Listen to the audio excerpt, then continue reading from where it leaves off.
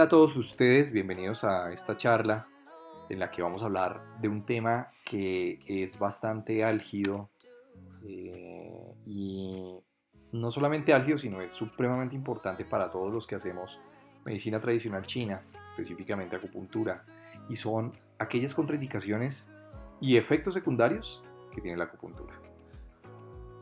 Mm, esto surgió básicamente de de, una pregunta cuando yo terminé de estudiar medicina china, ¿sí? porque esto realmente nunca me lo explicaron.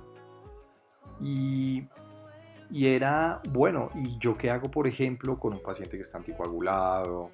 Eh, ¿Qué hago con un paciente que es diabético? Eh, ¿Qué hago con un paciente que está inmunocomprometido? ¿Sí?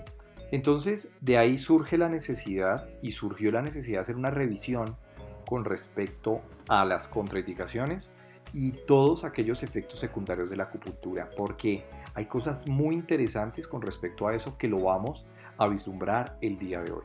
La, la, acupuntura sí tiene contraindicaciones y también tiene efectos secundarios, que es importante que nosotros conozcamos antes de entrar, ¿sí? antes de ejercer nuestra práctica clínica con los pacientes, ¿vale?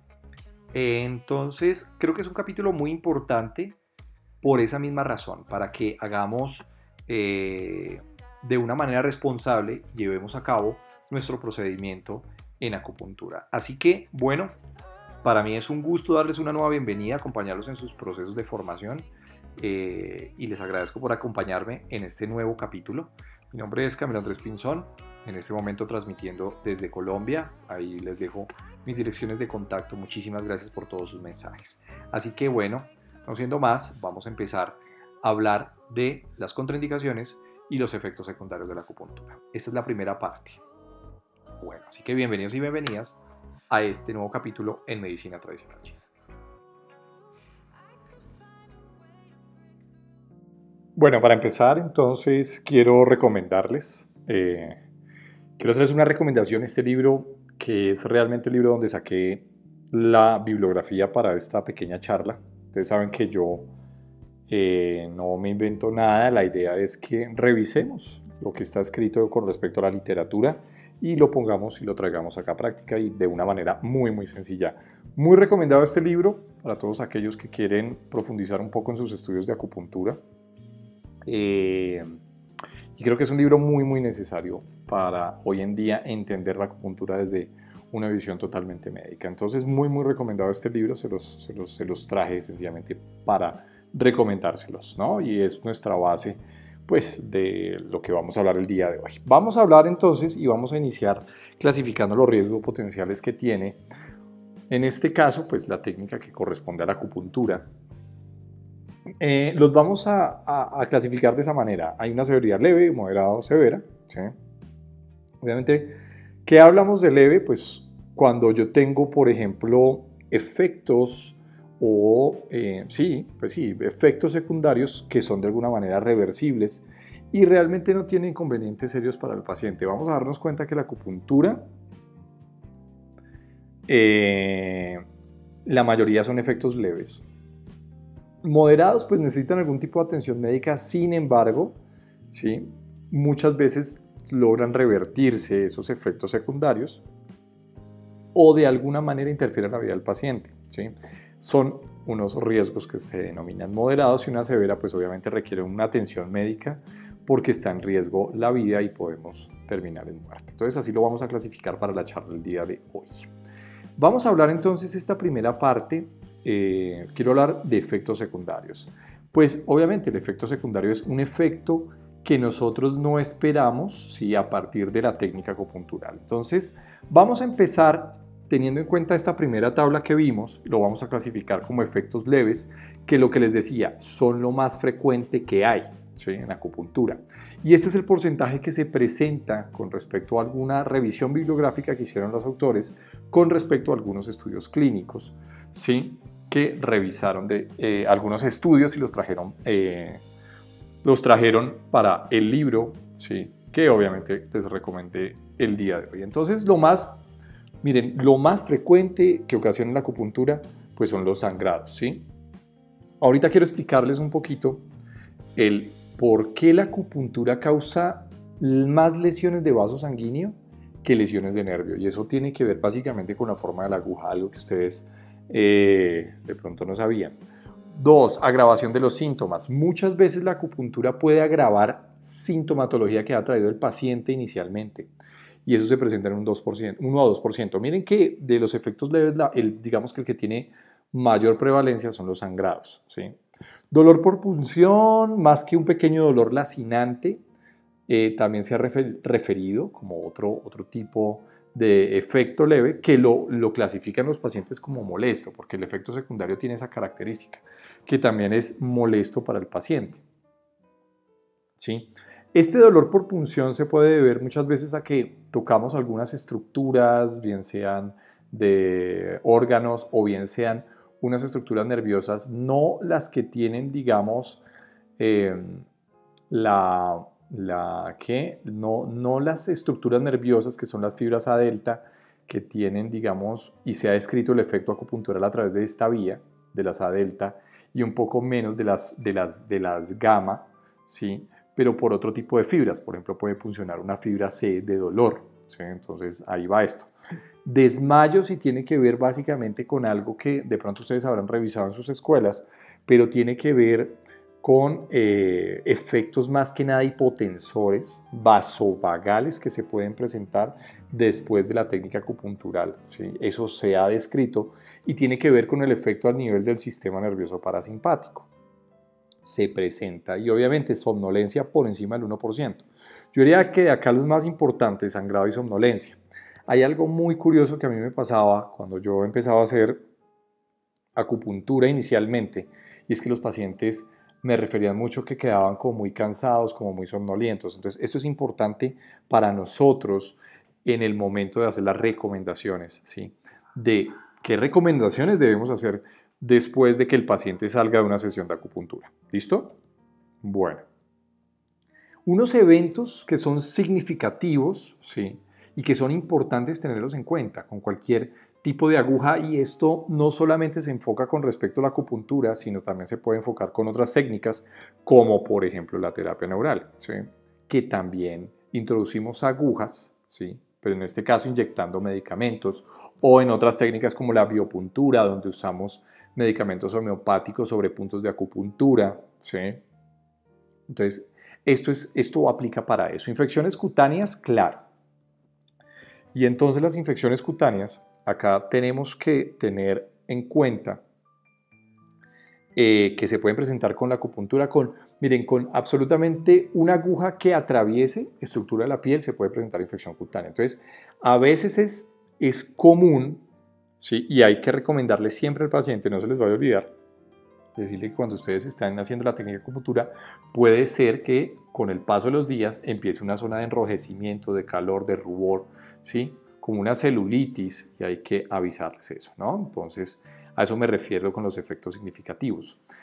Acá hay algo bien importante, ¿sí? Y es una recomendación de las contraindicaciones de la acupuntura. El por qué yo, por lo menos yo personalmente, a zonas de edema no le coloco agujas, ¿sí? O zonas húmedas, entre comillas. Y tiene que ver básicamente con esto. Una zona de edema una zona que yo tenga retención de líquidos, al colocarle una aguja de acupuntura, lo que estoy es aumentando aún más el riesgo de infección. El riesgo de infección se aumenta eh, en esas zonas de edema, ¿sí? porque, digamos, eh, se pierde un poco, claro, la manera como todos esos polimorfonucleares llegan a la zona donde yo tengo la lesión, obviamente, y acordémonos que las zonas húmedas es las zonas donde se puede adquirir una mayor o puede tener un mayor riesgo de infección, siempre, siempre en el cuerpo.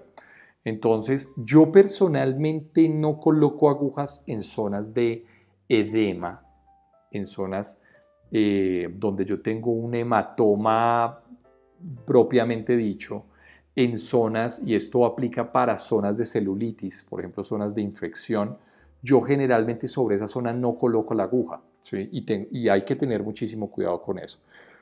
Ahora, ¿qué pasa con la celulitis? Si yo tengo una zona inflamada y yo coloco una aguja sobre esa zona, sobre esa misma zona donde yo tengo inflamación, calor, rubor, edema, ¿sí? que yo sé que hay un microorganismo, lo que estoy haciendo es cogiendo ese microorganismo y llevándolo profundo, ¿sí? al cuerpo a que un vaso sanguíneo se lleve ese microorganismo y tengamos más problemas, ¿ok? Entonces, ojo con eso. Esto con respecto a por qué no se debe colocar agujas de acupuntura en ese tipo de zonas. Y estos son los eventos significativos como efectos secundarios. Que la aguja puede producir celulitis, claro, o sea, las infecciones cutáneas. Lesión de nervio periférico, realmente lo descrito en la literatura son muy pocos casos. Hubo uno que según la revisión que hicieron los autores, si determinaron, por ejemplo, un caso de un pie caído. ¿sí? Un pie caído es, pues obviamente tuvo una lesión en un nervio, ¿sí?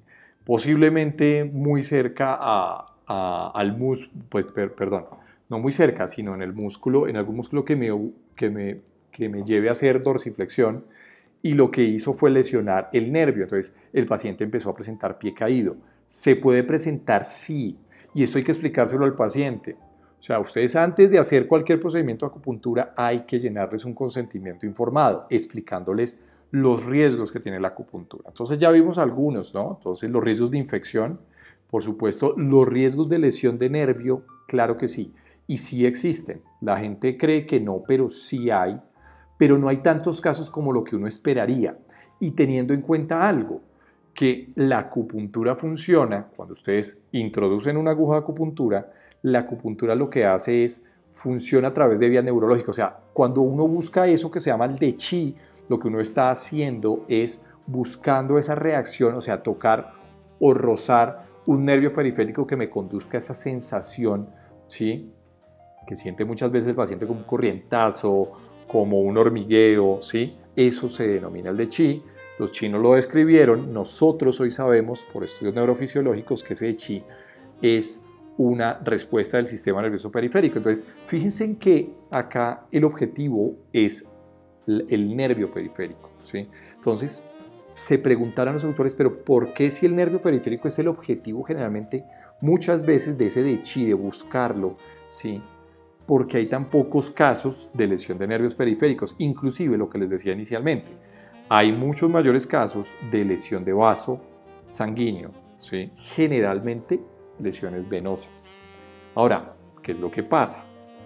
Quiero mostrarles acá para explicarles un poquito a ustedes, ¿sí? ¿Qué es lo que pasa? Nosotros yo creo que ya hemos visto esta imagen, vemos que, miren que, bueno, acá está eh, un cerillo, ¿sí? Eh, un fósforo, le decimos acá en Colombia, una eh, aguja hipodérmica, ¿sí? mucho más, digamos que el diámetro es mucho menor, y una aguja acupuntura, miren, miren la aguja acupuntura, 0.25 generalmente es eh, el radio que tiene una aguja de acupuntura en, su, en, su, en su, el radio no, disculpen, el diámetro, ¿sí? Entonces, realmente es muy, muy.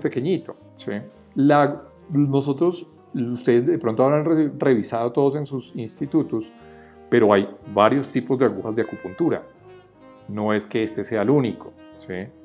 No es que este sea el único, pero sí hay que tenerlo en cuenta que generalmente lo que usamos hoy en día son agujas que son filiformes, que son bastante delgadas y que no tienen esta característica hueca por dentro, ¿sí? Porque estas características huecas son características de agujas que eh, dispensan medicamento, por ejemplo, agujas que usamos mucho en la terapia neural, por ejemplo, ¿sí? donde usamos, usamos procaína o lidocaína. ¿sí? Entonces fíjense en la característica de la aguja de acupuntura, es muy muy delgadita. ¿Qué característica me da eso? Pues digamos que me da una facilidad. Acá les voy a mostrar hacia mi lado izquierdo, acá donde les estoy mostrando, esto es un nervio periférico. El nervio periférico obviamente pues está formado de sus fibras nerviosas, ¿sí? Y si ustedes cortan un nervio periférico de esta manera, se van a dar cuenta, pues que el contenido en general, o sea, no tiene una zona hueca, ¿sí? Eso con respecto al nervio periférico. Y esto con respecto al vaso sanguíneo, sea una arteria, sea una vena. Acá sencillamente es para explicarles por qué la acupuntura causa más lesión de vaso sanguíneo, por eso es más frecuente el sangrado, es más frecuente la equimosis, ¿sí? Cuando ustedes eh, hacen punturas que la lesión de nervio.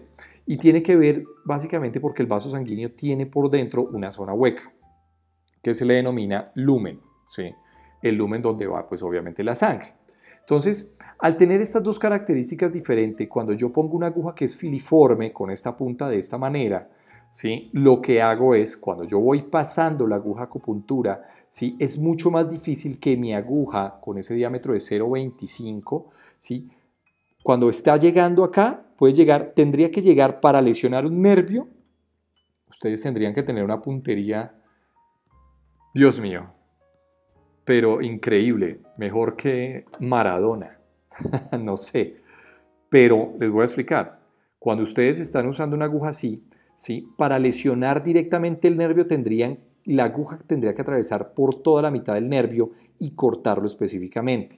Las características de la aguja no permite eso. Muchas veces no entra en toda la mitad, sino puede entrar por un ladito. Y cuando entra por un ladito, lo que hace la aguja es desviarse hacia el lado. ¿sí? La desvía. Inclusive tocando un poco el nervio, se desvía y se logra desviar. ¿sí?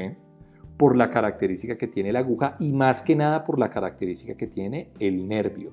¿sí? Que es un contenido totalmente sólido ¿sí? obviamente formado de unas fibras nerviosas, de otras estructuras de tejido conectivo fuertes. ¿sí? Entonces, así ustedes hagan toda la presión, ¿sí? es muy difícil que atraviese porque en el momento en que lo tocan, lo que hace el nervio es lidiarse o se desvía como para el lado, ¿sí? que no pasa con el vaso sanguíneo. Al ser una estructura hueca, cuando la aguja va pasando, la aguja toca el vaso sanguíneo, ¿sí? Y lo que hace, claro, como esto es hueco, no tiene la misma resistencia. ¿sí? Si yo tengo acá una estructura hueca, pues obviamente lo que tengo que atravesar es nada. Entonces, puede pasar lo mismo que con esto y generalmente tiende a pasar eso. Sin embargo, sin embargo, acordémonos como las estructuras más superficiales son las venas, que tienen esta misma característica. Entonces, cuando viene la aguja, toca el vaso, tiene una facilidad, es mucho más sencilla que empiece a romper esta partecita de acá. Y cuando rompe esta parte, pues lo que hace es lesionar esa estructura de ahí adentro. O sea, si yo lesiono una parte así sea del vaso, lo que hace la sangre es salir hacia afuera. En cambio, lo que les digo, esto como es totalmente sólido, ¿sí? ustedes lo pueden tocar, pero para cortar, que una aguja corte toda la fibra nerviosa, es muy, muy complicado. ¿sí? Pero eso es básicamente por la característica anatómica que tiene el nervio con respecto a la característica anatómica que tiene el vaso sanguíneo. Por eso en acupuntura se ven más las hemorragias que las lesiones nerviosas. Ustedes pueden tener esa sensación de corrientazo, de dolor, de lo que sea, que se lleva a cabo a, cabo a través del nervio periférico, pero no, por ejemplo, ¿sí? con respecto al vaso sanguíneo, que sí se puede romper, ¿sí? y ahí tenemos la zona de hemorragia. Bueno, miren lo que vieron que me pareció muy interesante. Hay cosas para las cuales se usa la acupuntura, exacerbación, bueno, y es por ejemplo para pacientes con asma, ¿sí? el asma, la urticaria. Hace poquito les monté un video sobre efectos inmunológicos y hablamos un poco de que la acupuntura se maneja mucho en estos cuadros, ¿sí? cuadros asmáticos, cuadros de urticaria, cuadros que tienen reacciones inmunológicas mediadas por inmunoglobulinas principalmente. Y hay gente que busca acupuntores para regular esto y funciona muy bien. Sin embargo, sin embargo, hay cuadros por los cuales ¿sí? se pueden tener, por ejemplo, exacerbación de asma. O sea, puede venir un paciente con asma y en el, en el momento en que se haga la acupuntura, ¿sí? Puede presentar exacerbación. O sea, puede presentar una crisis de asma durante la sesión. Entonces hay que tener un poco de cuidado con ese tipo de pacientes, que el asma esté muy bien controlada previamente, ¿sí? Que eso es bien, bien importante, ¿ok? Se ha descrito de esta manera. Y ojo con esto, ¿sí? Eh, convulsiones se han reportado algunos casos, ¿sí? Como efectos secundarios también, y tiene que ver generalmente, lo que se dieron cuenta fue en pacientes que generalmente estaban recibiendo, estaban recibiendo tratamientos de manera sentada. Entonces, ¿qué es lo que puede pasar? Pueden pasar dos cosas. Uno, eh, yo sé y hay técnicas que se usan en pacientes sentados. Eso es importante que lo tengamos en cuenta. Sin embargo, como nosotros sabemos, la acupuntura tiene un efecto relajante a nivel de, de digamos que estimula mucho el el parasimpático, el sistema nervioso parasimpático, y lo que hace es causar una hipotensión ortostática, así se llama, hipotensión ortostática. La hipotensión ortostática es cuando la sangre se queda, digamos, dentro de las estructuras venosas y no sube hasta la cabeza. Que eso es, eso es un efecto que se puede visualizar en algunos pacientes con acupuntura. Entonces hay que tener un poquito de cuidado. ¿Por qué no pasa en el paciente acostado? Puro efecto de gravedad. Si yo tengo un paciente sentado, la sangre se va para abajo. Y si yo vasodilato, pues digamos que la sangre lo que, lo que vasodilato entre comillas, ¿sí? o sea, causa el efecto relajante sobre los vasos sanguíneos que tiene la acupuntura, pues la sangre, el contenido, eso eh, se queda abajo, se queda abajo en los pies y no sube la suficiente cantidad de sangre. ¿sí? Por eso, digamos que puede ocasionar, cuando no llega la suficiente cantidad de sangre, pues entonces hay desmayos, porque no llega la suficiente cantidad de sangre, incluso cuando no llega la suficiente cantidad de sangre puede presentarse hasta convulsiones y se han descrito algunas de esas. Por eso les digo, entonces hay que tener un poquito de cuidado con esto, un paciente que esté muy bien hidratado, si antes de recibir su sesión, que garanticemos que la cantidad de líquido, la cantidad de sangre, sí que llega directamente al cerebro, pueda ser la suficiente. Entonces fíjense en acá lo importante, ¿ok? Bueno, muy bien. Eh, bueno, el colapso mayor ya, cuando hay colapsos, eh, pues es poco común. El colapso mayor, pues acá en el libro se refería, eh, por ejemplo, ya a restos, perdón, cuadros de shock cardiogénico y demás cosas, pues no, no se ha visto mucho, ¿sí? Y lo que les decía, ¿sí? La pérdida de conocimiento, pues, o el desmayo que se da durante o posterior a la sesión de acupuntura, que era lo que les explicaba en la diapositiva previa, pues tiene un mecanismo neurológico, nosotros ya les dijimos, ¿sí?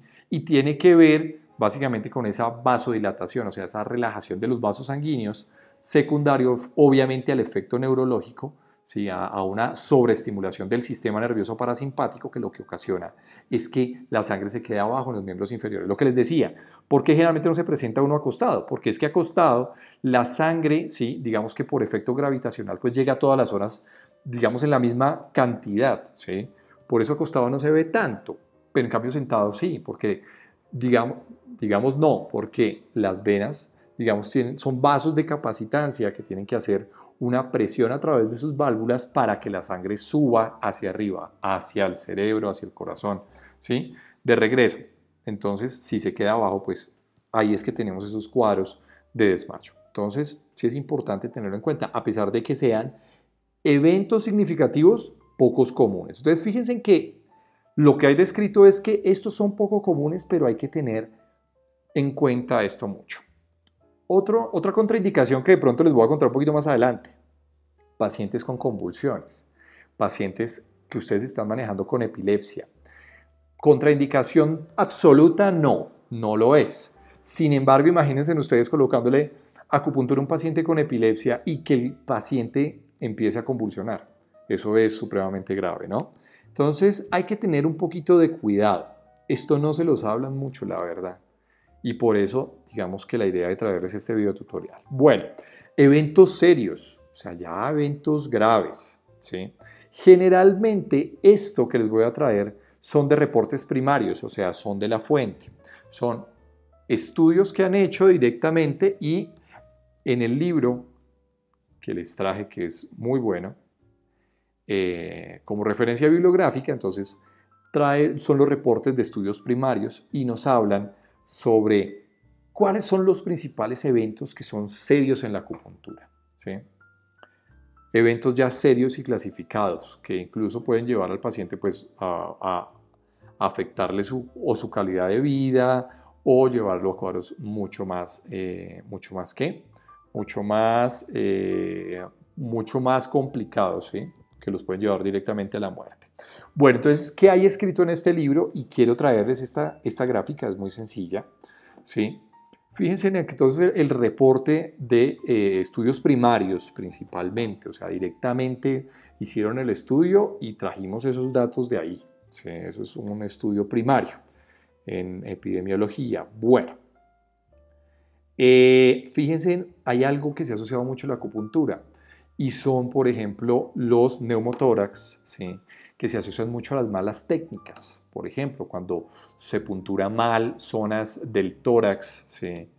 Eh, y causa, eh, por ejemplo, lesiones a nivel de la pleura, entonces hay neumotórax. Esto se presenta mucho generalmente, yo lo que vi en un estudio que buscaban efectos secundarios, ¿sí? A la acupuntura y es de los más frecuentes que hay. Este primero que ustedes tienen acá. ¿sí? Miren el número de reportes, o sea, esto se reporta bastante ¿sí? como evento serio, ¿sí? a, pesar de que no sea, digamos, tan común. Ah, bueno, decirles, esto no es tan común, ¿no?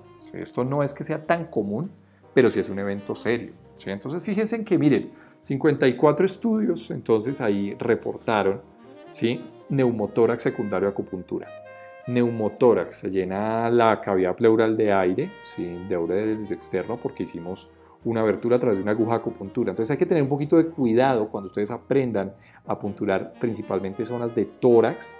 ¿sí? Es importante saber cómo se puntura, la forma como se debe punturar.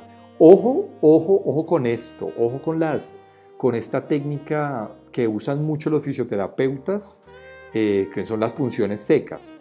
Las, eh, sí, la, la, punción seca.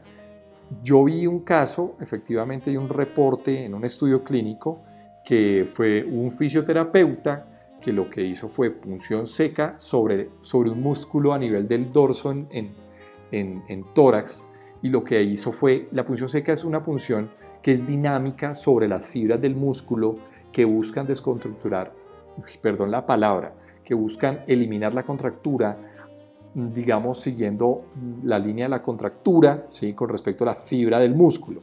Si se puntura de una manera que es muy vigorosa y si no se sabe punturar, tomar bien, digamos, proteger muy bien la zona donde ustedes están haciendo la técnica, ¿sí? hay, que, hay que saber ustedes qué es lo que están punturando. Entonces, ojo con eso. ¿sí? Y ocasionó un neumotórax. Entonces, con el tiempo el paciente un día no, estaba normal, el siguiente empezó a presentar dificultad respiratoria y se fueron dando cuenta que, perdón, y se fueron, no, y se dieron cuenta que efectivamente el paciente lo que tenía era un neumotórax. Hemotórax, cuando la cavidad pleural se llena de sangre, igual se rompe un vaso sanguíneo a nivel de la caja torácica por dentro y obviamente pues eso drena todo a la, a la, al, al espacio pleural. Entonces, ojo con eso, ¿no? Tienen que aprender muy bien eh, la forma como se debe punturar. Eso es importantísimo. A pesar de que usemos agujas filiformes, que muchos dicen, no, pero esa aguja no ocasiona absolutamente nada. Pero sí, miren que es como lo más frecuente, a pesar de que, de que no sea tan, tan, ah, tan común, ¿sí? Pero eso es importante. Bueno, miren esta, por ejemplo, me interesa mucho, taponamiento cardíaco. Cuando uno puntura zonas precordiales, ¿sí? zonas en la región anterior del tórax, ¿sí? hay que saber punturarlas de igual manera. O sea, tórax es un, una área que uno tiene que saber punturar muy bien. La, la, depende del paciente, obviamente, la cantidad de grasa que tenga.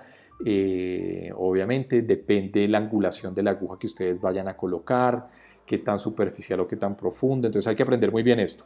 Hay casos en los cuales se reportó taponamiento cardíaco. Se pasa la aguja, toca el pericardio, ¿sí? Y acordémonos, entonces el pericardio tiene dos láminas, una lámina que es visceral y otra lámina, ¿sí? que es la más externa, la parietal, y entre los dos se puede llenar de sangre y eso pues lo que hace es taponar e impide y limita que el corazón empiece a latir de una forma adecuada. Entonces eso se le llama taponamiento cardíaco. Muy parecido el mecanismo como se forma un neumotórax y un hemotórax. Entonces hay que tenerlo en cuenta, por favor. ¿Listo? Bueno, lesión de vaso sanguíneo, lo, que les decía, es muy, muy frecuente, pero acá hay algo que ustedes de pronto nunca les enseñan, ¿sí? Y es qué me puede ocasionar la acupuntura con respecto a la lesión de vaso sanguíneo. Aparte de la hemorragia, ¿sí? que queda un negrito, que queda un moradito, o sea, una equimosis, ¿sí? en algunas zonas, y esto sí quiero que les quede clarísimo, hay que tener en cuenta pacientes que, por ejemplo, tengan alteraciones hematológicas, o sea, que tengan tendencia a sangrar fácilmente, pacientes que estén tomando aspirina, pacientes que estén con anticoagulación oral, con anticoagulación eh, subcutánea, ¿sí? eh, eh, con heparinas, con warfarina, ¿listo? Con anticoagulación hay que tener muchísimo cuidado en el momento que ustedes punturan algunas zonas ¿sí? del cuerpo, como por ejemplo, algo que ustedes no sabían, por ejemplo, la zona de los antebrazos, ¿sí? la zona de los miembros inferiores también, porque ahí los músculos forman una especie de compartimiento. ¿sí? Entonces, ya más adelante, cuando les hable un poco de contraindicaciones, vamos a hablar de eso. Pero hay un síndrome que se llama síndrome compartimental. ¿Qué pasa, por ejemplo, si yo tengo un cuarto cerrado, el antebrazo? El antebrazo forma una estructura de cuarto cerrado. Cuando yo lo que hago es punturar un vaso sanguíneo y hay una hemorragia dentro de ese cuarto cerrado, lo que hace la hemorragia es empujar las estructuras, ¿sí? O sea, digamos que ocupa un mayor volumen, ¿sí? Dentro de ese cuarto cerrado. Entonces yo tengo una hemorragia por dentro del cuarto cerrado, ¿sí? No tengo cómo abrirla, ¿sí? Y eso me va a empezar a ocasionar que lesión de otras estructuras vasculares, lesión de otras estructuras nerviosas, ¿sí? Por pura compresión, ¿sí? Por pura compresión. Y eso se llama síndrome compartimental.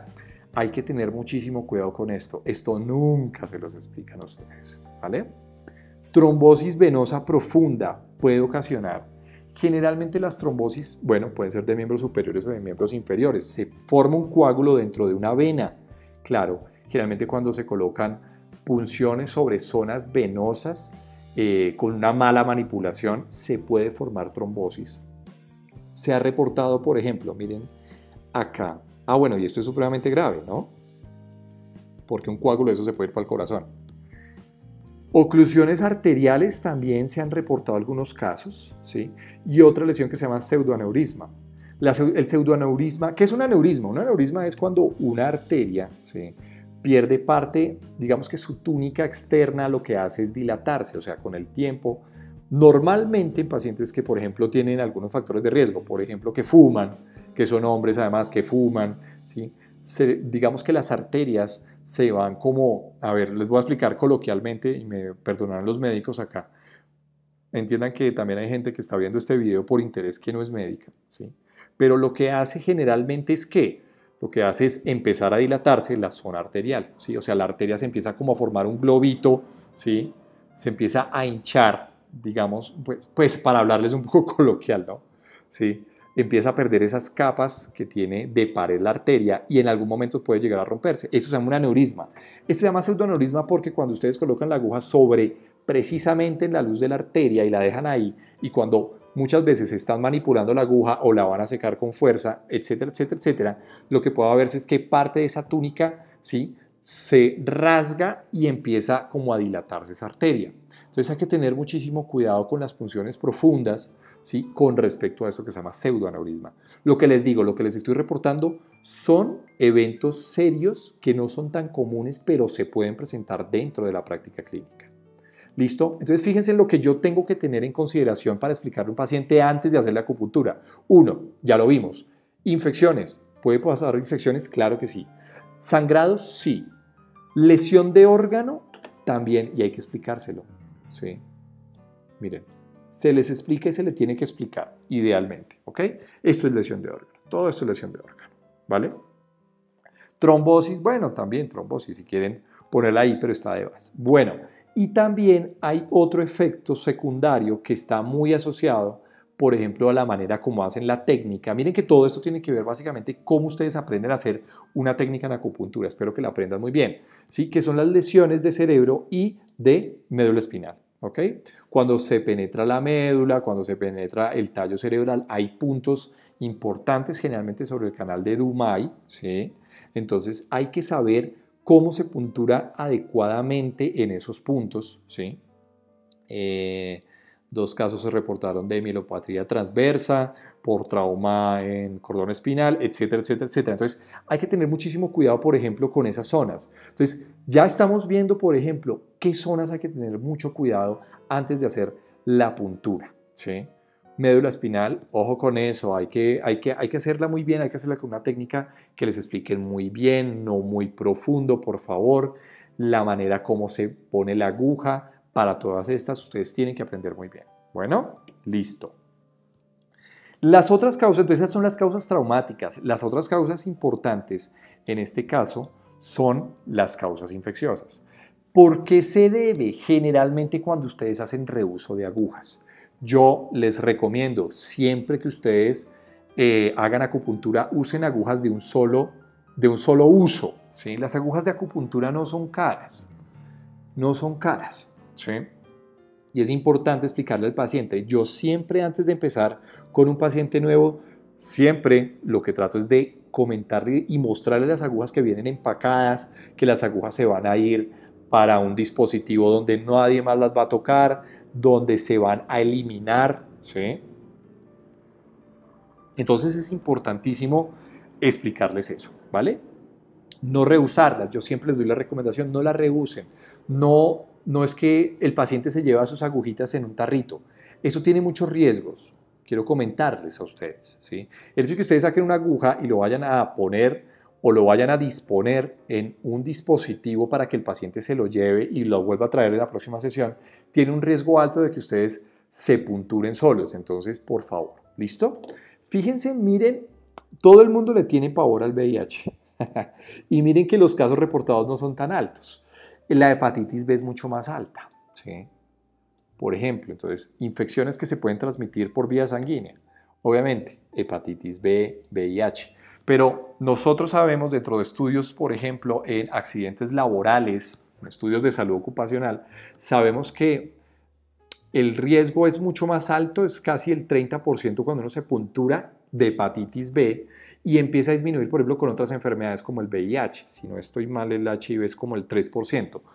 Una cosa así, ¿sí? No, no recuerdo ahorita muy bien específicamente el dato, pero todo se debe al reuso de agujas. Entonces, por favor, así ustedes las pongan en el alcohol, en lo que sea, yo siempre las voto y les explico siempre al paciente. Bueno, ¿qué otras cosas están, por ejemplo, asociadas? La condritis auricular. ¿Qué es eso en español? Les voy a explicar. Y les voy a explicar algo muy, muy importante, porque esto nunca se los explican. Uno, hay que hacer una adecuada asepsia y antisepsia antes de colocar las agujas de acupuntura que ustedes coloquen en cualquier parte del cuerpo. Eso es importante explicarlo y dejarlo consignado en su historia clínica. ¿ok? La condritis articular, auricular, pues auricular tiene que ver con la aurícula de la oreja. Pues obviamente nosotros en, medicina china usamos mucho, ¿sí? se usa mucho la, la auriculoterapia la usamos a través de varios métodos. Uno, podemos colocar chinchetas, ¿sí? o esas agujas que dejamos puestas, eh, que son como las chinchetas efectivamente, ¿sí? o usamos, por ejemplo, estos balines, semillas. Yo personalmente, lo, que les quiero dar la recomendación, yo personalmente uso eh, balines ¿sí? o las semillas. ¿sí? Eh, que si están magnetizadas o no magnetizadas, en algún caso los usamos, en otros no, pero yo prefiero usar semillas por encima de colocar agujas, y les voy a explicar por qué. Y es, tiene que ver con esta, con esta complicación, se llama condritis auricular. Nosotros el pabellón auricular es un, es un, es, es un cartílago, que es un cartílago elástico, que tiene una dificultad para regenerarse y cuando, eh, digamos que es más que nada por las zonas de irrigación al pabellón auricular. ¿sí? Si a una zona del cuerpo le llega suficiente sangre, se regenera fácilmente. Pero el problema es acá el cartílago, ¿sí? que no le llega suficiente cantidad de sangre porque el cartílago por excelencia como tejido conectivo es un tejido que es avascular, ¿sí? o sea, no tiene vasos. Entonces es mucho más difícil de regenerar. ¿sí? Entonces, imagínense ustedes, imagínense ustedes con una infección en la aurícula eso es complicadísimo y sí, y sí pueden tener muchos problemas con el tiempo, inclusive de manera legal. Yo personalmente les recomiendo eso, porque el hecho de meter una aguja en un cartílago, digamos que aumenta más el riesgo, ¿sí? aumenta más el riesgo de este tipo de infecciones, ¿vale? Bueno, miren eso tan interesante. La acupuntura puede llegar a dar endocarditis, también seis reportes. Vamos a ver un poquito por qué en endocarditis, antecedentes de endocarditis, alteraciones estructurales del corazón, ¿sí? Eh, generalmente no se deben colocar algunas agujas de acupuntura. Y no es que se coloquen en la zona del corazón, sino que se ha visto, por ejemplo, la infección de la zona del endocardio cuando ustedes, por ejemplo, usan, uno, no tienen procesos de asepsia y antisepsia adecuados sobre zonas de la piel, ¿sí?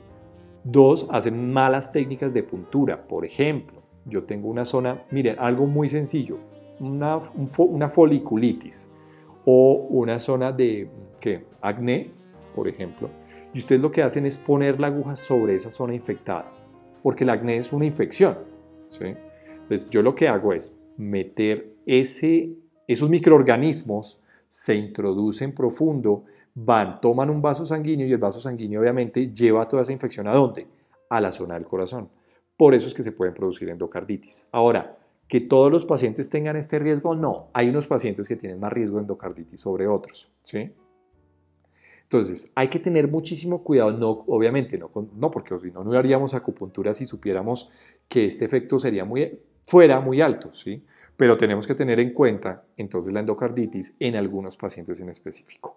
Meningitis, obviamente, por lo mismo que les dije ahorita, punciones males, punción mal hecha, disculpen, punción mal hecha sobre la zona de, eh, de la médula espinal, ¿sí? Obviamente, entonces ahí tenemos problemas. Infección de la médula espinal, pues meningitis también va ahí pegado, ¿sí? Obviamente, ¿sí? Eh, bueno, Septicemia. Ah, cuando ustedes, no, cuando ustedes meten mal la aguja muy profunda con mala técnica sobre el canal de Dumay, por ejemplo. Sí, entonces hay que tener eh, muchísimo cuidado con eso. Septicemia, pues infección en la sangre ya después de que ustedes meten un microorganismo. Entonces hay que, acá, acá, miren, acá, acá sencillamente la enseñanza es, no reusen agujas, usen agujas de un solo uso, por favor. Hagan procesos de antisepsia, asepsia muy bien hechos sobre la zona de la piel antes de punturar. No me punturen por encima de la ropa, por favor. ¿sí?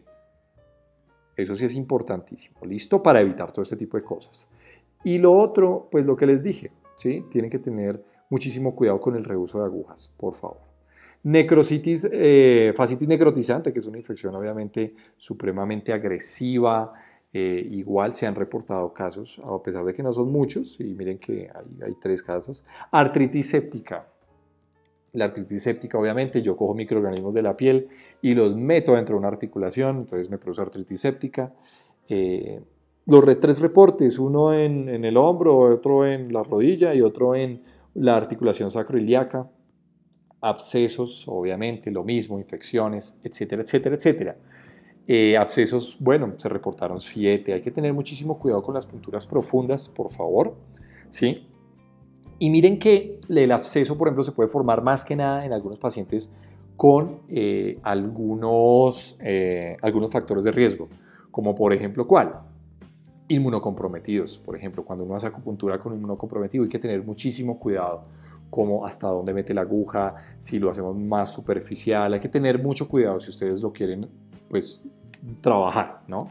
¿Sí? Entonces, abscesos mucho en, inmunocomprometidos. Y el inmunocomprometido no solamente es el paciente con VIH, para que ustedes sepan. Es el, paciente que es diabético, es el paciente eh, que está tomando medicamentos inmunomoduladores, el paciente que tiene alguna patología crónica está tomando corticoides de manera crónica. Esos son inmunocomprometidos, hay que tener muchísimo cuidado. Otros, bueno, eh, infección de compartimiento. Miren este, Wow, infección de globo ocular también, por ejemplo, con algunos puntos hay que tener muchísimo cuidado. ¿sí? Si ustedes no saben punturar un estómago 1, pues no lo hagan. Si ustedes no, no saben punturar un vejiga 1, pues no lo hagan. No, que es que el paciente tiene insomnio y necesito punturar la vejiga. No, no lo hagan. Hay otros puntos que se pueden manejar. Si ustedes no lo saben hacer y no saben hacer adecuadamente la técnica, no lo hagan. ¿sí? Y más en esto. Otras infecciones, osteomielitis, por ejemplo, otro tipo de infección a nivel del hueso. Entonces, acá está el aprendizaje, espero que, que, les haya quedado algo de todo esto. Fíjense que la acupuntura sí tiene efectos secundarios, pero no se me asusten, yo sé que ya más de uno dice, no, yo voy a dejar la acupuntura, no voy a hacer esto. Sí, hay que hacerlo con cuidado, hay que hacerlo con todas las precauciones, por favor, teniendo protocolos, asepsia, antisepsia, no rehusar agujas, ¿listo? ¿Sí? Saber qué, qué es lo que hace, ¿sí? Porque acá hay muchos muchos que les encanta y bueno, eh, se dan de, lanzados, como decimos acá en Colombia, y lo hacen, ay, no, hagámoslo, eso qué carajo, eso no va a pasar nada, pero sí puede pasar. Entonces hay que tener muchísimo cuidado, ¿vale? Pero no se me asusten, tranquilos. Bueno, ¿qué es un efecto inadvertido? Es un efecto que no se puede predecir, así de sencillo, eso se llama efecto inadvertido en acupuntura. Algo bien interesante, que los efectos inadvertidos no solamente se reportan con punturas profundas, sino con punturas incluso hasta superficiales. Y eso nos está hablando también del efecto que tiene la acupuntura sobre el sistema nervioso central.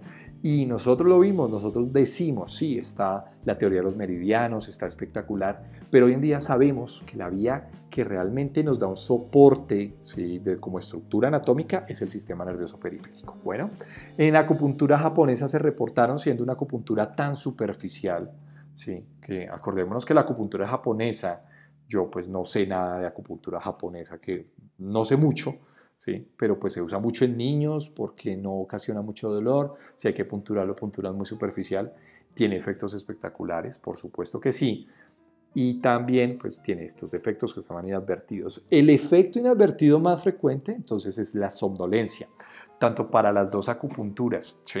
Y eso es importante tenerlo en cuenta.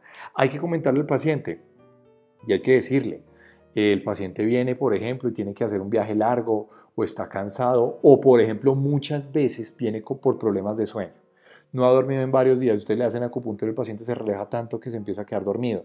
Pero posterior a la acupuntura puede ser que el paciente siga dormido. Entonces hay que avisarle al paciente, ¿sí? hay, que, hay que avisarle y hay que decirle, hay que decirle, te puedes quedar dormido, después de la acupuntura. Entonces hay que tener muchísimo cuidado que venga con acompañante de pronto, si tiene que hacer alguna, eh, no sé, que, haga alguna actividad o algún trabajo eh, posterior a la sesión de acupuntura, pues idealmente decirle que no, porque le va a dar sueño, entonces hay que avisarle. Incluso antes de la acupuntura te va a dar sueño, por favor evita accidentes, eh, evita actividades que te puedan exponer a un accidente de tránsito, por ejemplo manejar, ¿sí? pasa. Bueno, hay que siempre terminar riesgo-beneficio. Y esto lo vamos a ver con algunas condiciones especiales. Por ejemplo, pacientes en embarazo, pacientes, que les voy a mostrar un poquito más adelante, además para que sepan, ¿vale? Eh, pacientes con embarazo, mm, pacientes inmunocomprometidos, pacientes con alteraciones eh, hemorrágicas, por ejemplo. Entonces, hay que mirar, ¿será que lo punturo, será que no? El riesgo de sangrado pues es mayor. Hay que saber qué sitios son los que tienen mayor riesgo de eso que, que Camilo nos habló, que se llama síndrome compartimental, entonces de pronto en esas zonas no punturar tan profundo, un poco más superficial. ¿Listo? Estos efectos inadvertidos hay que tener en cuenta con los primeros pacientes. Muchas veces, ¿sí? como son inadvertidos, no sabemos a qué paciente le va a dar y a qué paciente sí. ¿sí?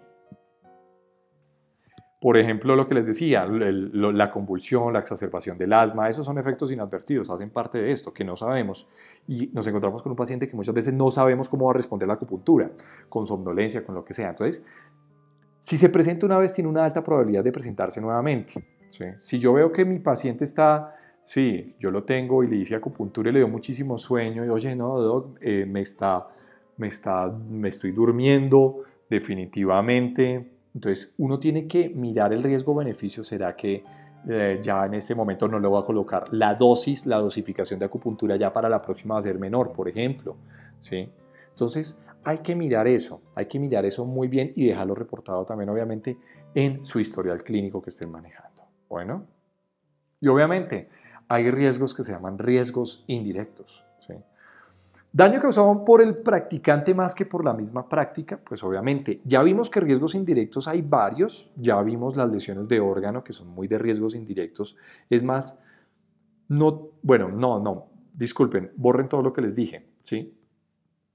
Eh, bueno, tratamientos incorrectos por diagnósticos mal realizados, por ejemplo, eh, que por ejemplo, no sé, que el paciente no haya ido a la consulta con el médico inicialmente o, no ustedes no se estén acompañando por el médico tratante, entonces lo diagnostican mal y ustedes diagnostican nomás por medicina tradicional china, por pulso, lengua y ah, no, usted tiene tal cosa, pero nunca lo llevan a que lo visite un médico, que es importante. Yo siempre les he dicho en las charlas, eso es importante, la acupuntura es muy linda, pero hay que acompañarlo de la medicina occidental y eso es supremamente importante.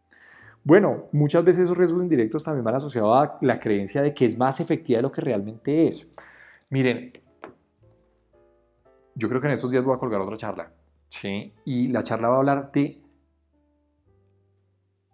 para qué sirve la acupuntura. ¿Qué es lo que me ha dicho la evidencia clínica?